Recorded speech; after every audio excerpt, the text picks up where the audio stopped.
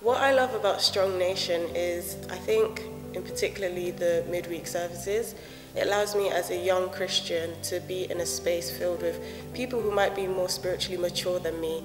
We're able to question mindsets and ideas that aren't really reflecting the Word of God, and we're actually able to use these scriptures to see how they don't. So, through that, we can look at scriptures that show me how I should go, and that really helps in my walk with Christ. I'm learning how to be a thinking Christian and a young thinking Christian. This is really useful and helpful for me because I could be more confident as a youth leader I feel that I'm able to lead the youth in the right direction. We're able to question society's ideas and thoughts and question if they are godly principles or ideas. We're able to look at the Bible to verify or counter any of these ideas that society is trying to impress on these young people. So I think what I love about this church is that it gives me the confidence to grow and it gives me the confidence to expand as a young thinking Christian. My name is Tanito and I'm Strong Nation.